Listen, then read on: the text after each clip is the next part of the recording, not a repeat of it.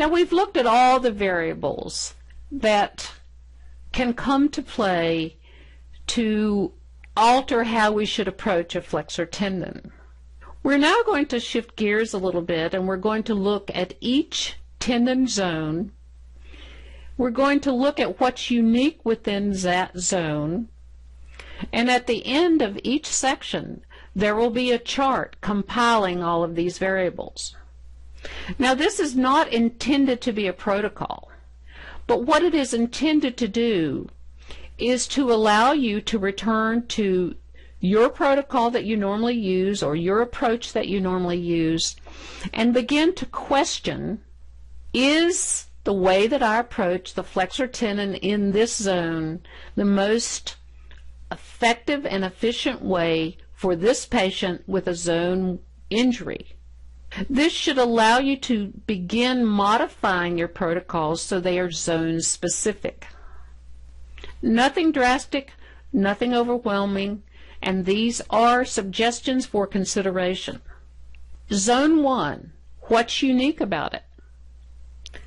We're talking about only motion of one joint that creates tendon glide, and it happens to be the smallest joint and therefore the smallest amount of glide. This is perhaps the trickiest zone.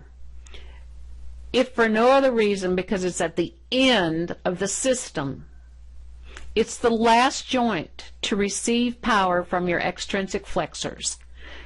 That power has to cross the wrist, the MP joint, the PIP joint before it even reaches the DIP joint. So these can be challenging patients to uh, regain full range of motion. This article in 1995 from Arbuckle and McGrouther was significant in helping me understand normal finger flexion and how I should approach patients with flexor tendon injuries as well as with many other problems. If you look at the schematic drawing with this representing the wrist, these dots. These dots represent the metacarpal phalangeal joint, PIP joint, and DIP joint.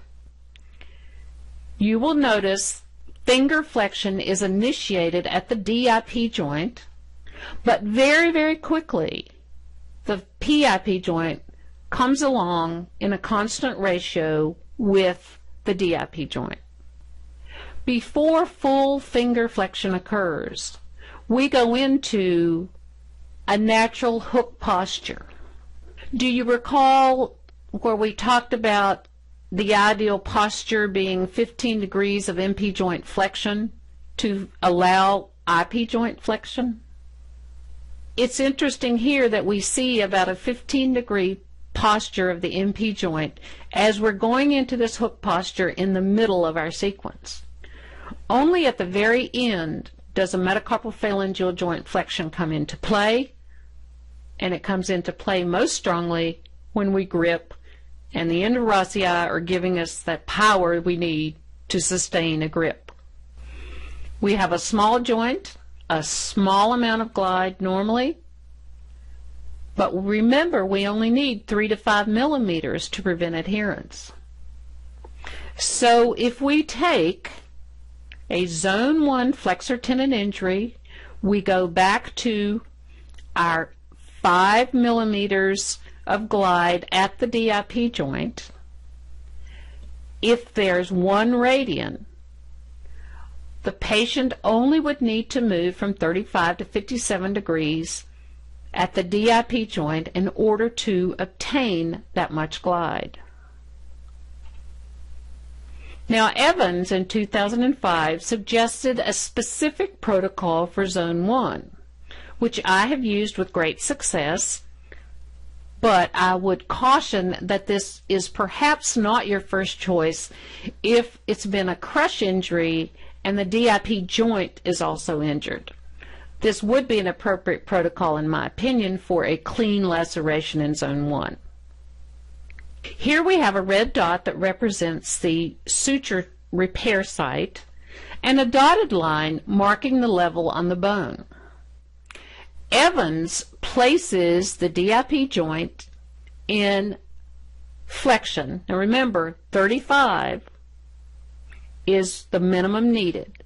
So she places a dorsal piece over the DIP joint, taping it in place, and by doing that, the passive flexion of the DIP joint literally pushes the suture proximally away from this resting position where it started.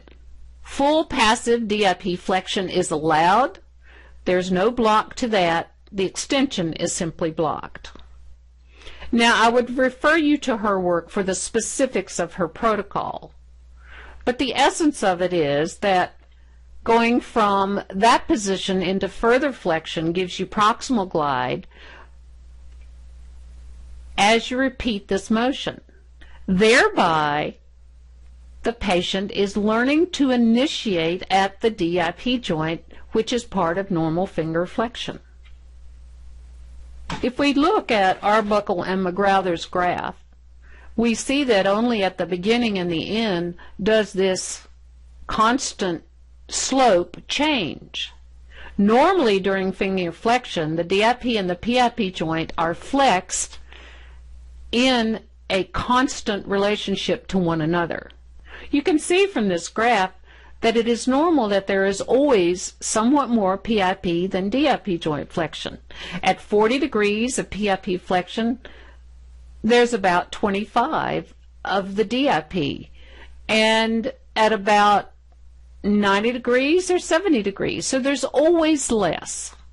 This means that if we will place the DIP joint in some flexion, and ask the PIP joint to also flex, that we will reestablish that normal relationship and glide will occur at both joints, which is necessary for DIP joint flexion.